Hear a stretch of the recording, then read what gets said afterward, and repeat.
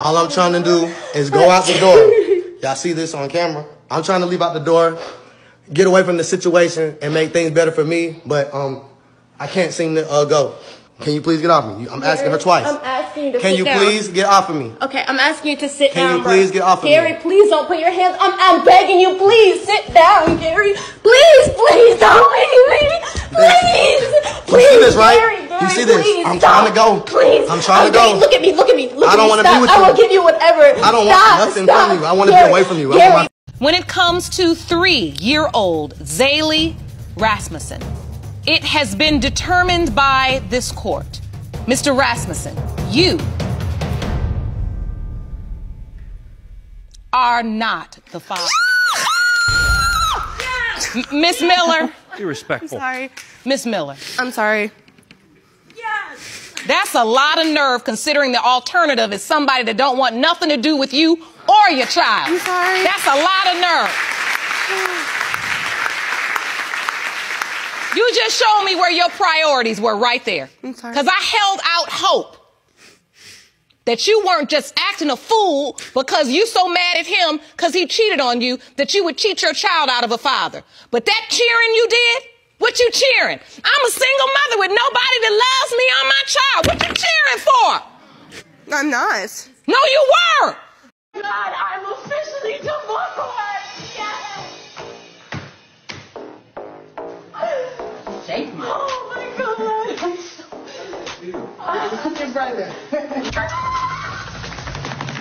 I'm officially primary custodian of the kids.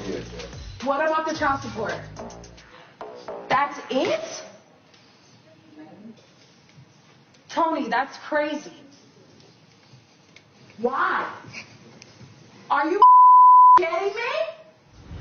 Now all of this financial burden with my children is on me? This is not fair.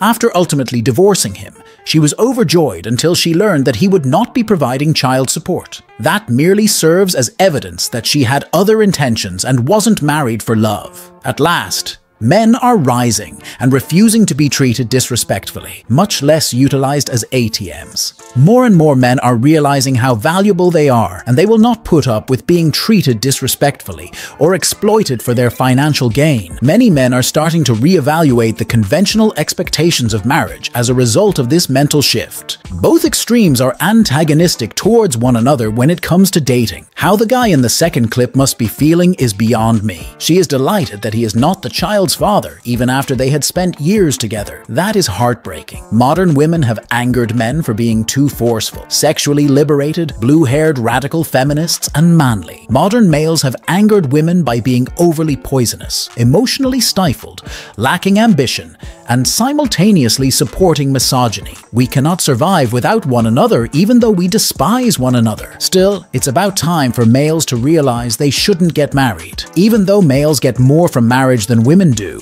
the difficulties and repercussions aren't worth the trouble. Men's marriage rates are declining largely due to the dread of divorce. Many have seen the psychological and financial toll that divorce takes and are reluctant to sign a legally binding agreement that might result in a repeat of the past. MGTW males opt to stay away from marriage and relationships entirely because they feel that they are not worth the emotional, financial, and legal dangers that they include. There is no justification for a man to be married other than procreation. Matrimony is merely a facade for deception. Marrying a modern woman has become their retirement strategy. There is no need for a man to get married. Marriage should not be viewed by men as being as significant as it was 15 years ago. As to the Pew Research Center, 9% of women between the ages of 18 and 34 think that having a successful marriage is the most important thing in their lives up from 28% to 37% in 1997. It was the other way around for guys. It is not a sign of immaturity or laziness for a man to decide against marriage. It's reacting logically to the incentives that exist in the modern world. Why marry when, in five years, the wife leaves him and takes half of his wealth? On the man's side, that is a loss. Even in cases where a woman cheats and the marriage dissolves, she is still entitled to half of the man's possessions. Men are motivated by women And it's like when the quality of the women have go, has gone down so much and the contract of marriage, it, it's like what incentive do men have? Like genuinely, what incentive do men have to get married today? None. What what's the average body count of a 31 year old, which is when you're getting married? Some are coming in with kids. It's like what incentive do men have to get married? I feel like it's- that's why I say marriage in 2023. It's not marriage anymore. It's it's something else because marriage is for better, for worse, in sickness and in health, for richer, for poor. It's Yeah. like you do this, you cannot leave. No matter. I don't care if he cheats. I don't care like whatever it is.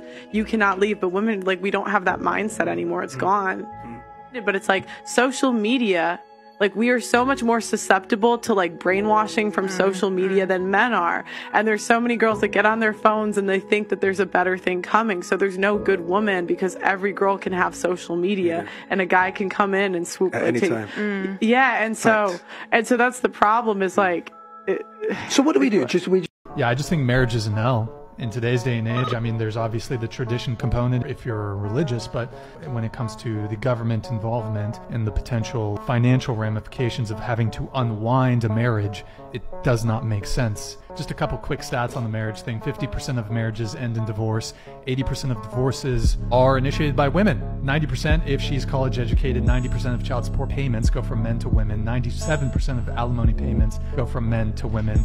So I think marriage is a pretty big L for men, and they get absolutely crushed in the court system. Prenuptial agreements can get thrown out. So even if you do have a prenuptial agreement, they can definitely be thrown out. They're not bulletproof. So don't get married, guys. Don't do it. I think.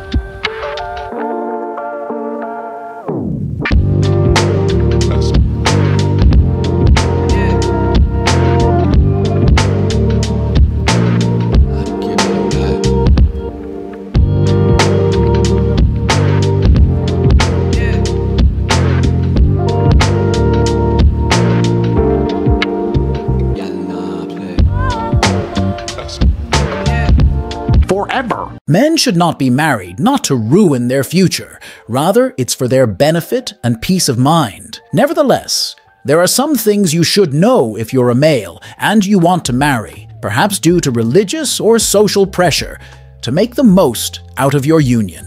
Make sure you are fully informed about her. She must sign a prenuptial agreement, which is crucial. Talk to her without jumping to conclusions. Don't let go of yourself. Take care of your health and mind. Own your portion of the answer.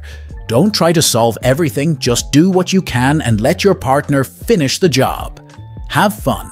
For a man, marriage is not the end of the road. A man has to be the same man he was before the marriage, even after being married. He must continue to work hard and aspire to be better because when the lady goes with half of his riches, he has to be the same man. For this reason, in 2024, I would constantly counsel males against getting married. The women of today are not worth it. There are several arguments in favor of that assertion. 1. You're going to lose pals. Men's relationships with friends from work and school tend to dwindle after marriage. Marriage causes both men and women to lose friends, although it usually has a greater negative impact on men's self esteem. 2. Both your money and your children could be lost. Nor are they necessarily your children.